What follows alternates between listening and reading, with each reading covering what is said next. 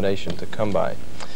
We all watched while Len Bias grew into a great All-American around whom Lefty built this year's Maryland basketball team. Len Bias had come a long way and was about to reach for new heights when suddenly, tragically, his life ended. Rick Schwartz takes a look back. It was here at Cole Fieldhouse that the brilliance of Lenny Bias was most evident. This was his playground, and up there, above the rim, was his domain. My uncle used to work a concession here. He used to sell ice cream, and I used to come and work with him. I used to use my ice cream box as a ticket to get me down the flights to go downstairs and go down the steps and just sit right behind the bench and watch the guys play. And every game, I just kept on doing it until one game, in a football game, I was outside selling ice cream. And after the game was over, I was shooting around the baskets outside, and the coaches came up there and asked me who was I. I told them who I was, and they kept a close eye on me since then. Lenny was not a heralded basketball player when he moved a mile up the road to the University of Maryland campus from Northwestern High School. But Leonard, as Coach Lefty Driesell always called him, had a desire to improve, to be the best. Coach was another guy that played a very, very key role in my playing. He had faith in me. He knew that I could play. He just, you know, freshmen, some guys can just come out and play but some guys just can't. Have to get adjusted. And I think I was one of the people that had to get adjusted to the, you know, college life. He adjusted so well and worked so hard that at the end of his sophomore year, he was the most valuable player in the ACC tournament. By his junior year, he was the ACC Player of the Year. And by this year, his senior season, Lenny repeated his ACC Player of the Year and was a consensus All-American. More importantly to his teammates, he was their leader the guy who almost single-handedly handed Coach Driesell's longtime nemesis, Dean Smith, his first loss at the new Smith Center on the University of North Carolina campus. And then, just two days ago, the hard work and the brilliance on the college basketball court culminated in a dream fulfilled. The Boston Celtics select Len Bias of the University of Maryland. Larry Bird said that if we draft Bias, he's going to come up to the rookie camp. That's right. He is very, very high on Bias. They're all high on him, and he's the guy we wanted, and we got him.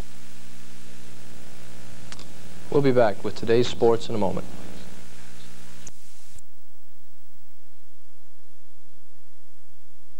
I'm going to miss him, and I know everybody else here will too. And I really can't say a whole lot more except I love you, Leonard, and I'll miss you. And I'll see you in heaven one day. Lefty Driesell first saw Lenny play basketball in the sixth grade. Even before then, Lenny dreamed of playing professional basketball. On Tuesday, Lenny's dream came true when he was the first player taken by the Boston Celtics in the NBA draft. Celtic general manager Red Auerbach made the selection. To the, to the world champion, so... He had the tools and the attitude and the work habits, which he got from Lefty, uh, to be a great player, not a contributing player, but a great player. Uh, he was, a, you know, damn good shooter, great athlete. He was the best athlete, in my opinion, by far in the draft. In addition to being a first-team All-American, Lenny was the player of the year for the past two years in the ACC and Maryland's all-time leading scorer. There wasn't a thing he couldn't do on a basketball court. I guess I'm kind of a modest type, type guy. A lot of people say, well, how do you do that? And I don't really think it's anything. It's nothing to me. It's small. It's the first sweep the Tigers have swept the four games in the Orioles. Follow me till I'm about 10 years later when I'm old and watching somebody else play and say, well, I used to could do that, and I could do it better than that.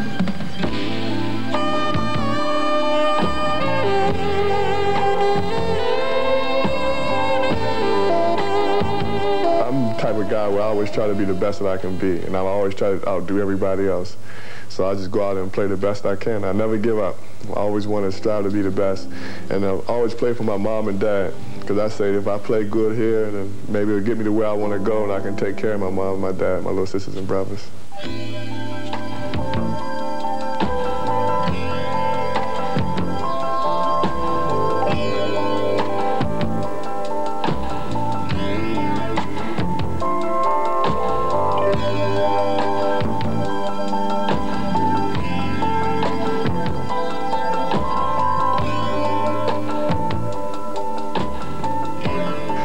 seen anybody score 23 points a game at 35 and 41. So I think that I've been really blessed by the Lord, and I just thank Him for all the talents that I have.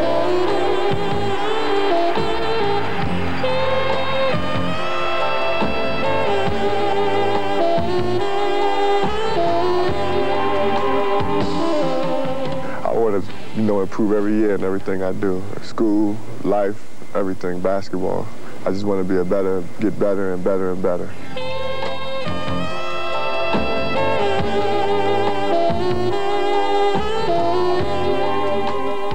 And now, of course, we talked a couple of weeks ago about where you were hoping. teammates experienced more than their fair share of disappointment. The team would go only 18 and 13. But among their victories was one of the most impressive wins of this year. On February the 20th, Maryland upset then number one ranked North Carolina 77 to 72. Bias as usual was spectacular. It was a victory that memories are made of. Feels great. Right, you know, just now standing here talking to you is starting to, you know, make me happy again. I was walking now around. Now that you won that game, then therefore you beat the number one team in the nation. Now, therefore, will you tell the people you are going to win the NCAA championship? Without a doubt. I would have told you that we wouldn't have beat them. but there would be no NCAA championship. Maryland did beat Pepperdine, Len Bias, 26 points, and there was plenty of smiles to go around as Lenny and his teammates showed their unique kind of high five. In his final college game, Len Bias would score 31 points. And although Maryland lost to UNLV, Coach Driesell had no doubts as to who was the best player in college ball. He's got better inside moves than any player I've ever coached.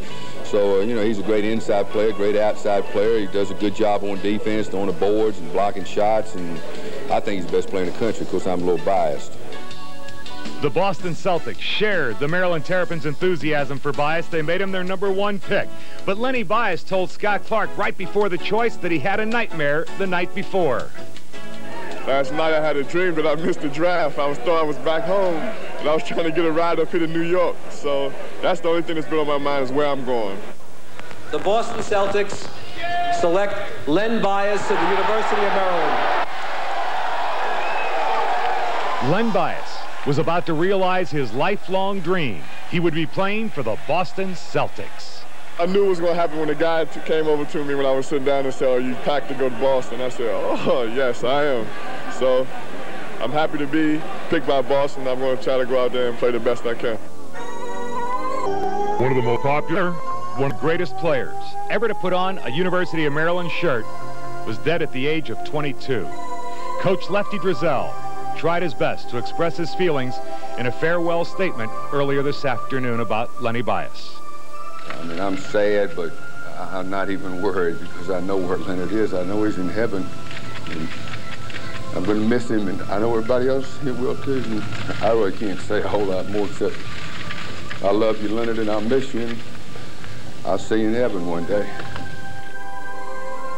Lenny Bias, ACC Player of the Year, All-American, Celtics number one draft choice.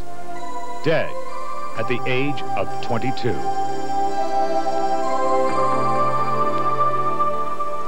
Yesterday, the Celtics draft just two days before his death. I told him that there was, uh, they said in the urine, from what I'd understood from the police, that there was a trace of cocaine in his urine. But again, if that's the case, he is, is completely... Keith Gatlin, who said they were asleep at the time and who have made statements to the police. Also there, basketball players Terry Long and David Gregg. Neither Long nor Gregg have come forward to talk to the police.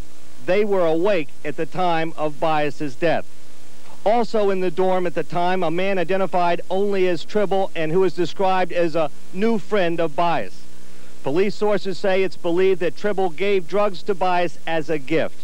Sources say police are looking into the possibility that sometime before his death, Tribble and Bias traveled into Washington and that there was a drug transaction at the intersection of Montana and New York Avenues Northeast. Officially, police are just saying the Bias death is suspicious. What makes the death suspicious? Uh, it was unattended, very he healthy, uh, young man, uh, for no apparent reason, uh, uh, went into cardiac arrest. They say this is a routine investigation, but it looks anything but routine and could involve administrative, if not criminal action against other Maryland athletes. Now, earlier today, we talked to Bias's girlfriend, Madeline Woods, about the cocaine allegations. I don't think Len has ever touched it before. And if they have found the traces in his urine, then that was the first time. And I can't say that he took it under his own will. I think maybe, I really do think that he may have been uh, pressured by his peers and by his friends. just because of the celebration that night. Terry Long, David Gregg, a man who goes by the name of Tribble, three men who were with Bias when he died, three men that police desperately want to talk to. They've asked them to come in. So far, they haven't appeared here. Now police are out looking for them. Jim and Susan? Pat, I'm wondering, is there any indication where these fellows might have gone? Have they disappeared from the area? Do we know if anyone's talked with them? Well, one speculation here is that they're out talking to attorneys, and the attorneys are going to try to make some arrangement for them to come in and talk to police. But again, that's just speculation. Police have asked them to come in, but so far they haven't shown up. We've waited here all day. There are investigators inside who have waited here all day for them to come in and talk and tell us what exactly happened before Len Bias died. So far, they have not shown. From what I gather, Pat, then this is not a criminal investigation right now. No. This, again, is just an investigation into the death of Len Bias. They don't know where the investigation is going to take them at this point. Pat Collins. Dick